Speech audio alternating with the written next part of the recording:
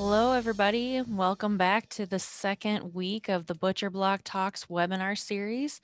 Um, so just as a reminder, we had last week um, talking about the $5 million CARES, um, the CARES grant.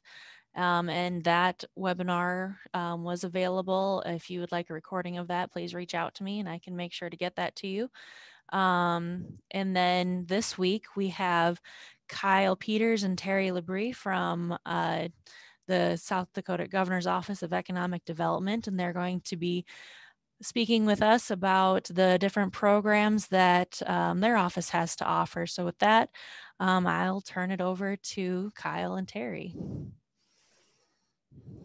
Thank you, Christina.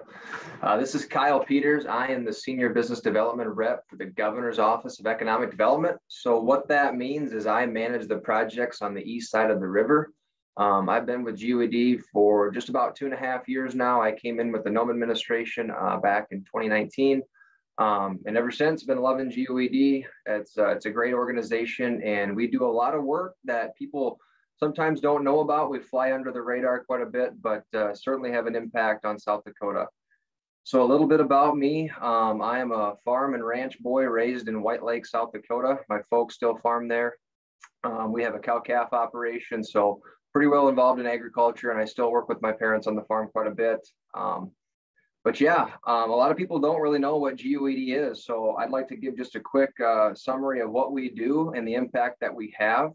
Um, the Governor's Office of Economic Development specializes in recruiting out of state businesses to the state and growing our in state businesses through our partner relations and our secondary financing programs. Um, GOED's mission is to recruit companies with good paying jobs and benefits and to expand the property tax base in South Dakota. And then, kind of as a catch all, we like to improve the quality of life for all South Dakotans. So, if the economy is good, usually everybody's in a better situation because of that. Um, just to recap a little bit of 2020, what we've done. Um, the Governor's Office of Economic Development helped facilitate $2.8 billion in total capital investment. That's 2.8 billion, not, not million. So a big impact there. Um, these wins come from manufacturing, distribution, housing, technology, energy, and agriculture. Um, in 2020, we had 27 prospect visits um, in the state. That's what we call hostings when a company comes to the state just to check everything out, see if it'd be a good fit for them. So we had 27 of those companies come here, which was a pretty significant number considering the year we had in 2020. Um, we sent out 63 financing proposal letters. Uh, a proposal letter is an outline of what we think we can do subject to an application of our uh, finance team. And then we conducted just under 400 R&E visits. So R&E visits are retention and expansion visits. Those are really, really critical visits that we do with our in-state companies to make sure things are going smoothly. And it, it throws a red flag up if we are at a visit and they say, hey, this isn't working very well for us. Uh, is there anything you can do to help us? Because we don't want those companies to, to leave the state. So if there's something that we can do, we want to make sure we address that. Um, and then finally in 2020, we announced that 60 companies were either moving or expanding here in South Dakota. So we're pretty proud of that, um, especially during a year that we would not consider normal. Um, then just bumping over to some ag stats here. It's, it's not a question that ag is our largest industry. Um, in 2020, we had $32.5 billion of economic activity through processing ag, or excuse me, for production ag and ag processing. Production agriculture is a higher percentage of our economy, economy by gross domestic product than any other state in the country. So just thought I'd give you a quick recap of what we do and, and what we've done in 2020. Uh, we are a staff of about 30 people, so we're not a big staff, but we're usually all over the state doing work. So, um, but switching gears over to meat, meat processing, you know, and Terri can speak to this a little bit too, but during the pandemic, we've seen a huge increase of people reaching out and asking about our programs for meat processing. You know, as many of you probably noticed, you know, trying to find meat in retail stores was pretty difficult as packing plants were being shut down or paused during the pandemic through COVID outbreaks. So during that time, we received several phone calls you know, from producers, especially who were looking to set up their own processing shop to take control of the supply and their market um, and kind of put the problem in their hands. They wanted to process their their critters, whether that be hogs or beef or, or chicken, um, and they wanted to try to market that product themselves.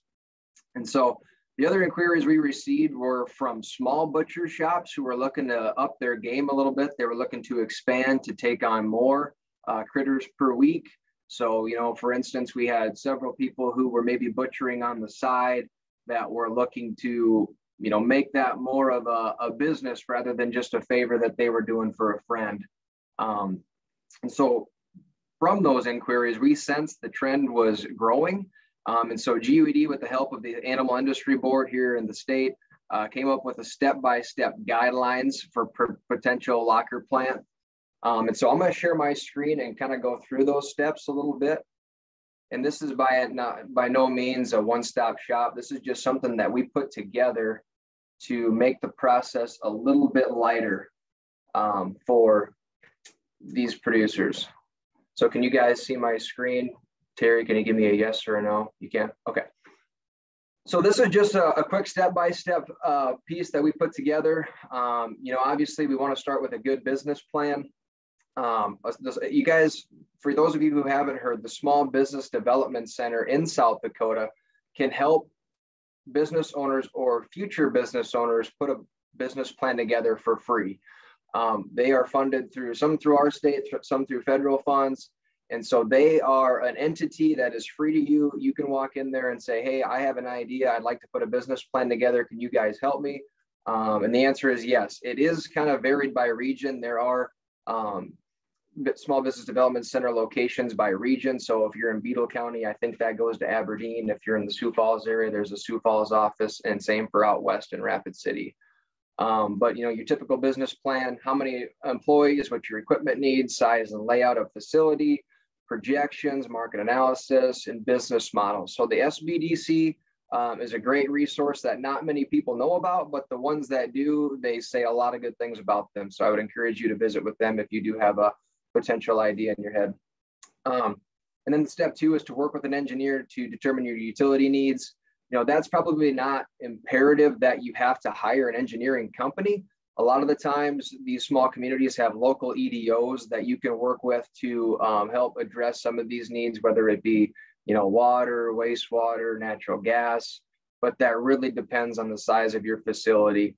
Um, and, you know, in the natural gas thing, if you need natural gas for your operation, that limits, you know, some communities that you can do this in because, as you know, not every community in South Dakota has access to natural gas. Um, and then step three, I can't stress this one enough. I think a lot of the bottleneck for people is they do one and two, but they don't do three simultaneously. And so I'm not, this isn't really a, okay, do step one check, step two check. These are almost simultaneously.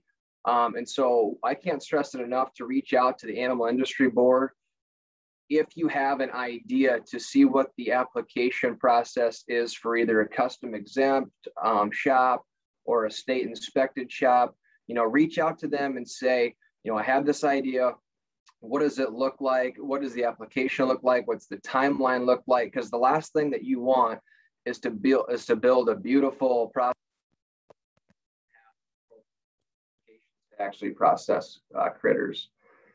So step four, when you have identified your utility needs in your in your space, start identifying land. You know, I think a lot of people have in mind the location that they want to be before any of this all happens, but certainly land is a big piece to make sure that you have the utilities tapped to that piece of property. Um, and then step five, begin your conversations with local officials to start the permitting process. Depending on where you're at, you know, you'll likely need a conditional use permit to build um, in either your city or your county. Um, and then step six, you know, I wish this was step one. We want to hear if, if we can help you guys. So, you know, reach out to GOED. Um, my contact information is here. A lot of the processing uh, has come to me in the last year because I'm the value added ag rep. Uh, so I have to know a little bit about what's going on to keep up with everybody. Um, but we recently split up the east and the west river. So, like I said, I manage the east side of the river, and Lori Frederick is the senior business development rep for the west side of the river. Um, so, depending on where you're at, we will likely coordinate you with the rep accordingly. But I can certainly be your first call to talk through things. Um, then step seven is the fun part, purchase the land and, and begin the construction. So that's kind of the step-by-step process for that. You know, it's not a one-stop shop like I was saying, but it's certainly a good a good way to start. And I can share this document with whomever. I can share it with Christina and she can forward it or however we want to do that. But you know, this past year has been interesting. It's been fun, but it's also been interesting in terms of the economic development successes we've seen and, and how a pandemic has really changed our targeted industries. I would say one of our main targeted industries right now is uh, meat processing. So if there's anything I can do to help, my contact information is there. And uh, I'll turn it over to Terri to talk a little bit about uh, programs. Thanks, Kyle. Can you guys hear me okay? Yeah, okay. Um, so like Kyle mentioned, my name is Terri LaBrie. I am a senior loan officer here at the Governor's Office of Economic Development. Um, I've been in the office for a couple years, uh, similar to Kyle. Um, I think he he's beat me out here by a couple months maybe, but um, I was transferred over uh, from the South Dakota Department of Agriculture. So I was the finance administrator there for about 15 years. So I'm well familiar with all of the um, agricultural financial programs. And then additionally, one of the benefits of the ag finance programs coming over to the Governor's Office of Economic Development is now we have additional programs for agriculture to include all of the uh, economic development uh, business loans as well. So we have a plethora of, of programs here that I'm going to touch on a little bit. Um, as Kyle mentioned, one of the main things that we want you guys to do when you're starting to uh, think about getting into meat processing is visit with the Small Business Development Center because whether or not the governor's office um, of economic development is going to help finance or your bank, everybody's going to want a business plan. We want to know exactly what you plan to do. The Small Business Business Development Center can also help you with projections. Um, and we require three-year projected um, balance sheets and financial statements for most of our programs. So um, just keep that in mind when you're working with uh, the Small Business Development Center. And again, we can't stress, stress enough that you should be working with the business development rep early on in this process. Um, so the GOED finance uh, programs, we have a few grant programs out there. Um, the reinvestment payment program, as well as the South Dakota jobs program is a rebate of sales and use tax. So that is something that um, comes into to the business. Uh, ag processing facilities are eligible for those, and it's a percentage of the sales and use tax that you have paid on the equipment costs that will get returned to you, basically. So um, the reinvestment payment program is for large projects. Those are usually over 20 million. Uh, the jobs program is anything under 20 million. Um, so that's kind of the difference between those two. Otherwise, they're, they're both the rebate programs for that. Um, a second uh, grant program that we have is our local infrastructure improvement program, and that is for cities and counties to essentially extend um, water and sewer lines. So if you're looking at a new construction project and you need upgrades to those um, water or sewer uh, lines, the, the county or city can apply for, for that grant to get some help help there. Um, another grant we have is our workforce development grant, and this is for training. And I think this might come in um, handy when you guys are looking at uh, training some meat cutters um, once the business is up and operating. So um, several different grant programs that we have at, at GOED that can help you. Um, additionally, and I'm sure if anybody's interested in meat processing, you've already heard about the Department of Agriculture and Natural Resources uh, meat processing grant. So that is open until um, May 1st. I'm looking at the notes here. Uh, that is when May 1st is when that grant round closes. So Governor Noem has set aside uh, $5 million of the coronavirus relief fund for meat processing businesses looking to either expand facilities or to get some new equipment. So um, check out the Department of Agriculture's uh, website, sdda.sd.gov. Um, the information on those meat processing grants is out there. There's a link on what's happening now on the Department of Agriculture's webpage. I did not find that on um, the Department of Environment and Natural Resources website, but I'm sure it's out there. Um, and as you guys know, those two agencies are combining. So um, it might take you a couple clicks to get get the right agency there, but it, it is out there on the Department of Ag's website.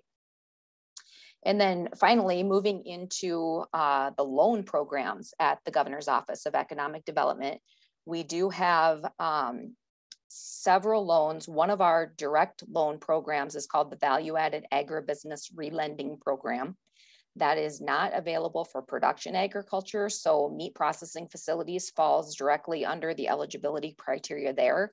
Um, that provides a low interest of 3% and it can go up to 250,000. So depending on, you know, if you're just looking at expanding or just looking at getting some new equipment, that program might be um, ideal for you. Um, obviously, some of the larger projects and new construction, um, some of the other programs that we have might, might fit better.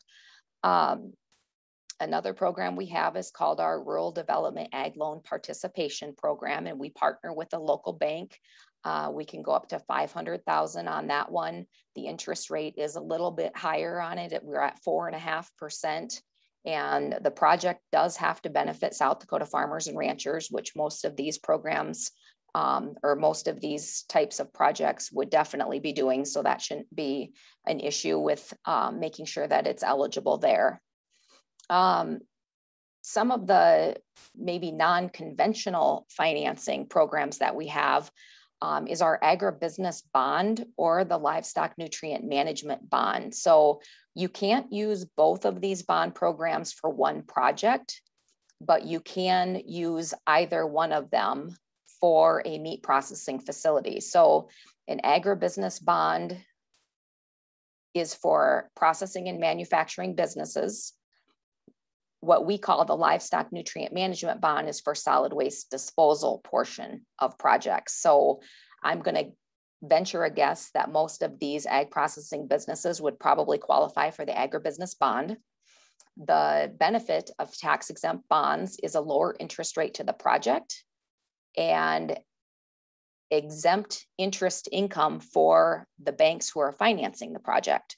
So it's kind of a twofold benefit. The bank who finances the project is getting benefits as well as the project because of those tax savings. So something to look at on larger projects where bond proceeds could be more uh, beneficial.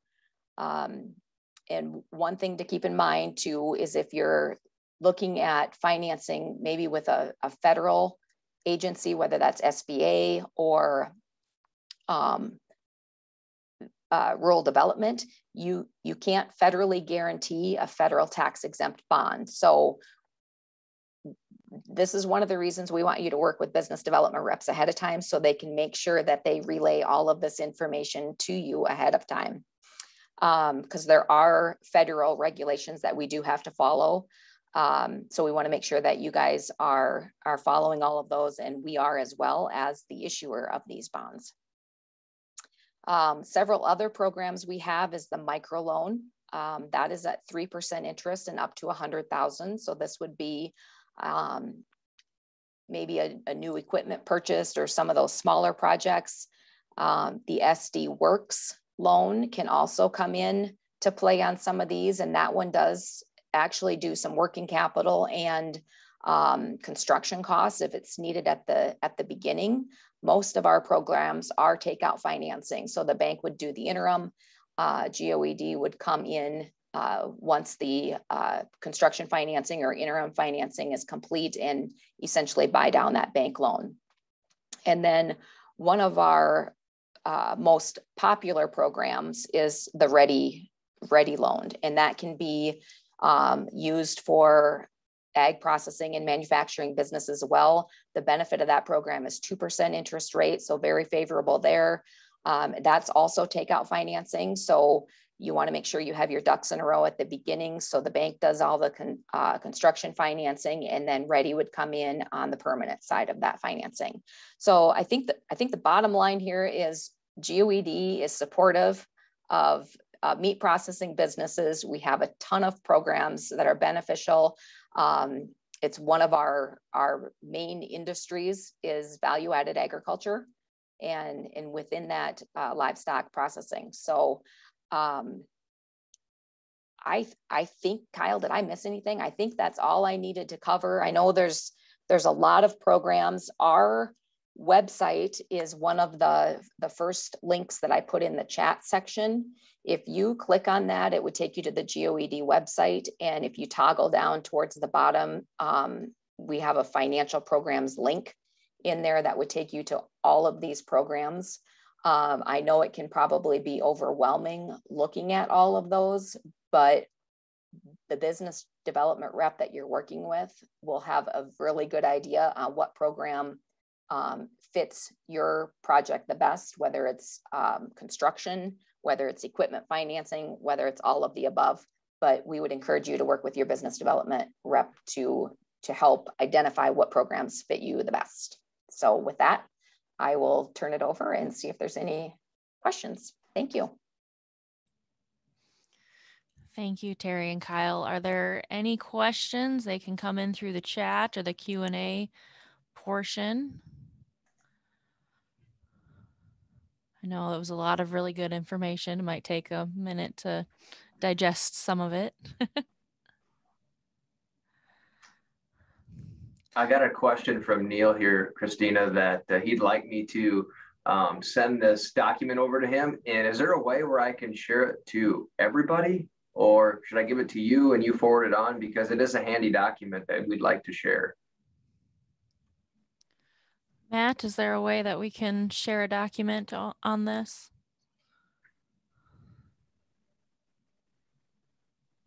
We got a couple questions coming in here too. Um, unless there's, it's like a link somewhere. I don't know. Okay, we can. Um, I mean, we can out. get it. We can get it sent out afterwards to everybody that's um, on the attendee list. Okay. So it looks like Robert's got one question. Are freezer carts included with the grant in the grant? Um, Terri, do you want to speak to that? Do you know if they are or not? I am going to assume, and I and I answered that I think on there that it, would be considered as equipment. Um, if you're in doubt, I would definitely include it. And if they don't feel that it's eligible, they'll kick it out but if and that's i'm assuming the the ag processing grant that you're talking about through the department of ag and natural resources um, and that's through a different agency so i can't speak to it specifically like i know but if it was coming through us we would consider that as equipment. Yeah if we're if we're talking about the the five million dollar grant program yeah that would fall under the equipment um, and that as we discussed last week would definitely fall um, definitely be eligible in that um, in that program. Um, looks like we've got a question from clay. It says how confidential is this application process? If a business plan is submitted does it go out from this process So I can speak to that a little bit, Clay. Um, it's completely confidential. When we're working with produce or for with uh, business owners, you know, we don't share anything until a loan is approved. Once a loan is approved, and Terri, correct me if I'm wrong here, then it is public because these are taxpayer dollars we are using to fund the loan. Um, so after you're approved, then it would be public to see who uh, received the loan. Yep. And just to add on to that a little bit, our board meetings are public meetings. So anybody can uh, call into those meetings. They're typically conference call. When we discuss specific projects and specific financials to projects, that is done in executive session. So none of the public is involved in any of that stuff. All, all financial information is kept um, confidential at all times. And maybe to speak to the financing piece a little bit, you know, what I tell people is we are not a bank. You know, we don't lend to build our portfolio. We lend for economic development. And so, you know, we have a tendency of maybe approving more riskier deals than a bank would just because we're trying to grow economic development. You know, the money doesn't do us any good in the fund. We want to spread it out in the communities in the state so these businesses are thriving and generating income and jobs. All right. I guess I had a question um, for Terri when it comes to the training grant that you had spoken about. Is there any kind of um, restrictions on that uh, for the types of training? Like, does it have to be through specific entities or is it kind of open for how that training can happen? Um, it is for profit and or nonprofit businesses. Um, they have to be expanding their workforce and training is for a new skill. Um, there is minimum wage requirements. And I, if you can tell, this isn't my program, so I'm reading off of a cheat sheet. Um, and if upgrade training, employees must receive increase in wage. So if it's training to get a boost in what they're going to be doing, they have to get an increase in, in uh, wages there. Um, and it looks like it's a thousand dollars per employee is the maximum. So that probably is dependent on how many hours of training is is needed and desired or recommended or uh, by the employer.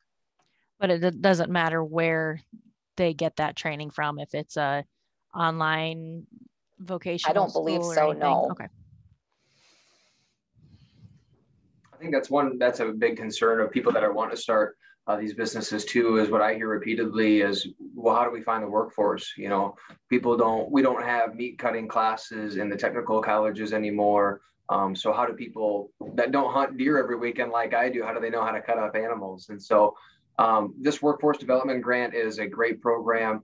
Um, and what we would like to see is somebody come a third party come into the business to train these people rather than doing your the training yourselves. You know we would like to see someone come in to do that training uh, more formal training than than informal but uh, we're flexible with that program too Yep. So yeah, just just the plug. Thank you, Neil, for that. Uh, SDSU is working on a on a training program for skills as well as Western Dakota Tech. So um, those would be coming up. So hopefully those would fall under that eligibility there. They could people could take our programs and and take advantage of that grant program. Absolutely. Uh, question from Clay, is the meat processors grant only for current meat processors, i.e. is it worth to submit a grant application for people who want to assist meat processors? Um, so the the $5 million grant program, that one, um, it's not necessarily specifically for people, the processors right now, um, but the money needs to be able to be spent very rapidly and needs to um, very quickly benefit the production in South Dakota. So it, you know, if you're wanting to kind of put it towards building your plant, um, it may or may not be approved um, just based on how quickly we're going to see a turnaround in the investment there.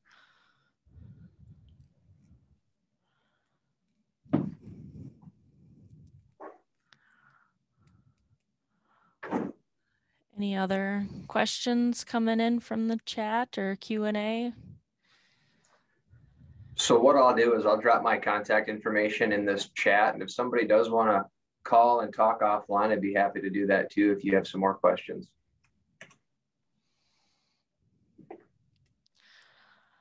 Uh, Neil says we need to hire veterans. The new GI Bill will pay for housing and training and a stipend. Uh, it's for GI after 20 or 2002. Um, these guys can find jobs with their ACAP programs and we can figure out how to reach them. And that is a very good point. Um, I know a lot of programs are um, some of these some of these programs through the colleges and um, I know Lake Area Technical College as well is working on something as well um, with uh, apprenticeships and stuff like that. And one of the target audiences with that is definitely veterans. So very good point, Neil.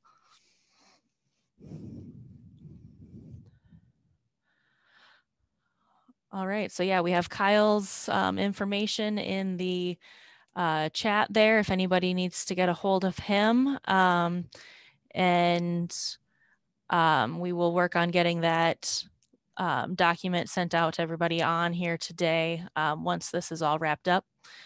So Um, if there are no more questions, like I mentioned at the beginning, this will be recorded or this is being recorded. So um, it should be available again to rewatch in a couple of days if you missed something. Um, otherwise, feel free to reach out to any of us um, and we can kind of get you pointed in the right direction. So thank you very much, Kyle and Terri, for your time today. I appreciate you talking to us. So um, everybody for the else. invitation. Yep. Yeah, thank you.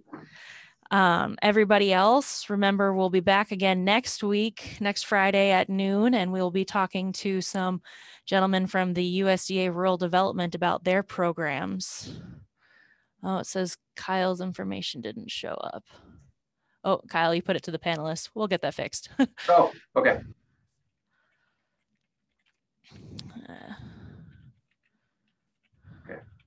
I think I got it figured out here. I'll just drop it real quick. Okay, so I don't have to okay.